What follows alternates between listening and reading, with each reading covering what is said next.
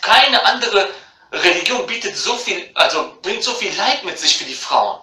Verstehst du, was ich meine? Weil das tief in den Islam verwurzelt ist. Welche Religion lehrt denn, dass man seine Frau bei Widerspenstigkeit schlagen darf? Koran, Sure 434. Ist das Gott? Ist das Gott, der sagt, geh und schlag deine Frau nur, wenn du befürchtest, dass sie widerspenstig ist? Dann aber, ticken wir noch alle hier richtig, oder was?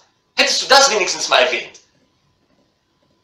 Das? Bist du ein Saatfeld, Sure 2223, wo der Mann hinkommen kann, sich befriedigen an dir und dann wieder weggeht? Wie so eine Dorfmatratze oder was? Was ist das bitte?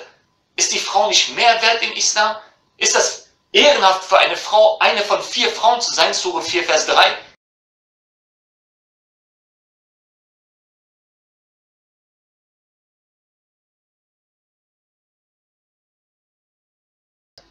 The second is polygamy. Both Islam and Judaism accepts polygamy. According to the Torah, from the Torah perspective, a man is allowed to have more than one wife at the same time. Although, however, some rabbis uh, not, recommend not to have more than four, and some rabbis don't recommend to have even more than one. But the truth is, from the Torah perspective, a man is allowed to have more than one wife. In fact, my great grandfather, his brother, had two wives. You know, because one of one of the wives, the first one, couldn't have children for I think ten years or so, and then she herself found him another wife, so that you know he could have children through that other wife.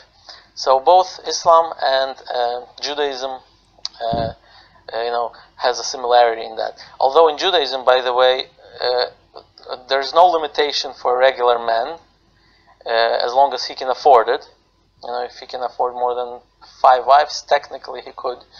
However, a king, a Jewish king, has a limitation.